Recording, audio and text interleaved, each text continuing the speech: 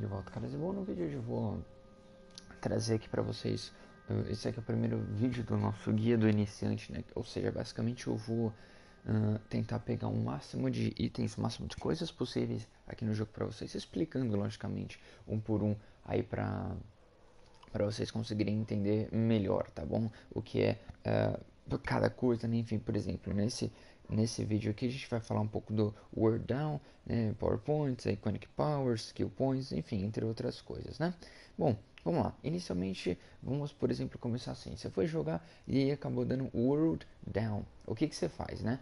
World Down vai aparecer aqui nessa sua coluna da direita, tá? Por exemplo, meu nome é CrossBR, tem meu level, aí tem uh, meu time, mentor, power, weapon, movement. E embaixo disso é, não apareceu o que está aparecendo agora. World, USPS, Status Online, é, Type PVE e Population Height. Isso não apareceria. Apareceria World Down, ou seja, a SOE, ou seja, Sony Online Entertainment, faz uma manutenção no DC Universe Online diariamente às 10 horas da manhã. Essa manutenção dura geralmente cerca de meia hora e aí basicamente você precisa realmente esperar é, esse tempo passar para você conseguir jogar.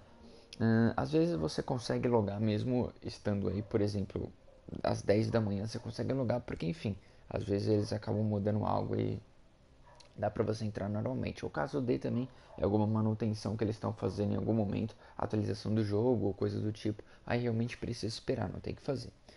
Agora a gente vai entrar aqui no personagem e eu vou explicar para vocês o que são PowerPoints. Bom, rapaziada, os PowerPoints são os pontos que você utiliza para comprar é, habilidades do seu poder. Você pode, você os recebe, melhor dizendo, ao chegar num nível de número par, ou seja, número ímpar automaticamente. Não recebe número par, você recebe. PowerPoints são esses aqui que eu estou tentando aqui. Esses aqui, tá vendo esse primeiro aqui? PowerPoints.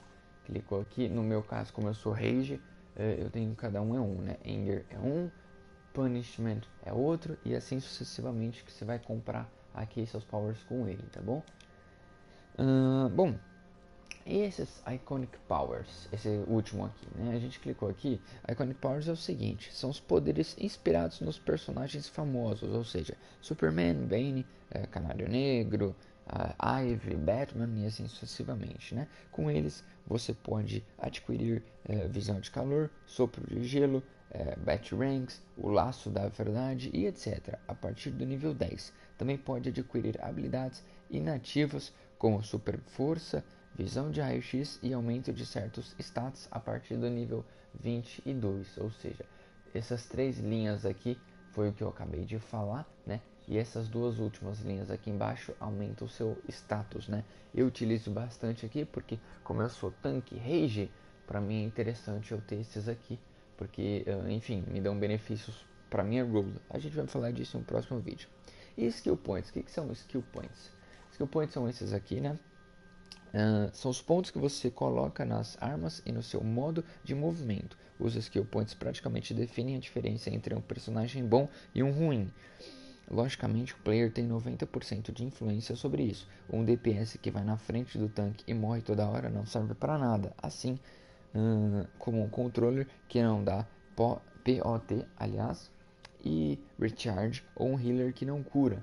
Ou seja, é o que você vai ficar comprando aqui para sua seu item de movimento, né? Geralmente as pessoas só colocam esse primeiro, que é para você andar, correr ou assim mais rápido. E aqui é o que você vai liberando, por exemplo, eu uso o arco. É aqui o que você vai liberando, são esses itens aqui embaixo que vai melhorar o seu personagem, as características do seu personagem, entendeu? Uh, quantos skill points você pode ter? Bom, uh, é possível ter cerca de 202 skill points ao completar todas as feats. Feats são isso aqui que vocês vão ver agora, ó. São itens do jogo que você vai fazendo. Por exemplo, eu vou colocar aqui um, uh, uma feat da sua base, vai.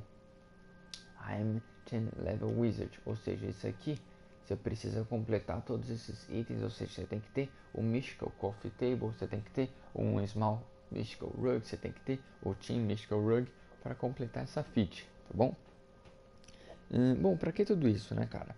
Logicamente, se não me engano, teve já atualização e aumentou o skill point, acho que para 210, uma coisa assim. Eu não tenho certeza, mas se não me engano era isso, tá bom? Para que serve tudo isso? Bom, é algo simples, cara. A partir do nível 9 você pode aprender a usar todas as outras armas do, uh, armas do jogo ou poder investir no seu modo de movimento, desde que tenha skill point para isso. Ou seja, você vai investindo, como eu acabei de falar, né? você vai comprando esses itens aqui embaixo para melhorar o seu personagem sucessivamente. Né? E qual a vantagem disso tudo? Cada arma tem um bônus passivo em seus movimentos, né, seus ataques, melhor dizendo, que ficarão ativos mesmo se você não estiver usando aquela arma. Portanto, o bônus crítico que você pode, é, que você pega, melhor dizendo, colocando pontos nas skills da arma One Hand, por exemplo, estarão ativos mesmo que você use o arco, por exemplo. Fora que cada arma tem um bônus específico onde você pode colocar 3 ou 6 skill points e lhe dá uma melhora boa, né? melhora bem você também pode aumentar a velocidade do seu modo de movimento, pegar ataque dele e resistência contra certos efeitos, né? E bom, basicamente é isso, como eu expliquei aqui para vocês, esse aqui é o nosso primeiro vídeo do Guia do Iniciante. Tentei, tô tentando ser e continuarei tentando ser aí o mais é, simples possível para vocês entenderem bem, tá bom, rapaziada? A gente vai encerrar esse primeiro vídeo aqui. Espero que vocês tenham curtido. É, a gente vê nos próximos. Não se esqueçam de se inscrever no canal, like, favorito, compartilhar com a rapaziada. Já, valeu, falou, abraço e tchau.